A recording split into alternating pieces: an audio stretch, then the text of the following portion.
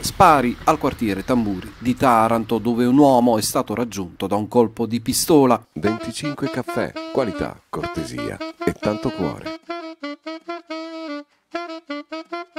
È accaduto intorno alle 16 di ieri. Si tratta di un 23enne con piccoli precedenti penali. Il proiettile esploso da un'auto lo ha raggiunto ad una gamba mentre camminava a piedi in via Masaccio nel noto quartiere sorto ai piedi dell'acciaieria. Immediatamente soccorso è stato trasportato all'ospedale Santissima Annunziata per le cure del caso. Sul posto la sezione scientifica della Polizia di Stato, che ha rinvenuto solo un bossolo, si indaga per fare piena luce su quanto accaduto al vaglio degli inquirenti. Le registrazioni degli impianti di videosorveglianza della zona.